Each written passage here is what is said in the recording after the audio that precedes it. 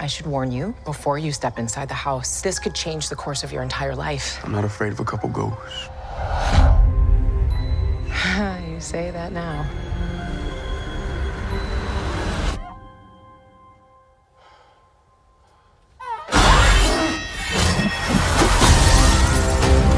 This mansion is unhinged. These ghosts definitely don't want to leave. Death lurks around every corner. God, give us a break. There's so many bad people in the world. Haunt them. Amen. I do like surprises. Is anybody else seeing this? I hope you do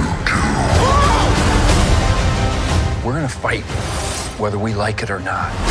Or else we're stuck here for eternity. If this comes down to an exorcism, we're in big trouble.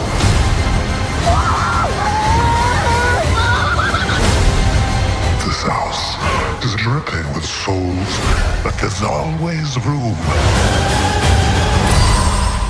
for one more.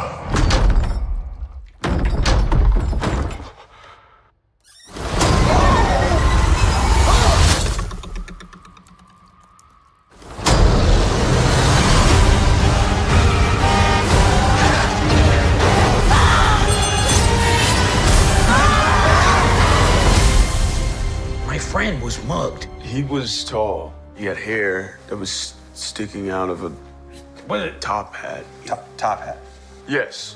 He had, yeah. So nice. a top hat. You would pull a rabbit out of it, probably. Uh, eyes. they were a bit uh, sunken. Deep sunken eyes. Like a raccoon. Beady they, they set back. Hmm. And he was smiling like, yeah, like that. This kind of thing. Exactly. Is this the man who mugged you?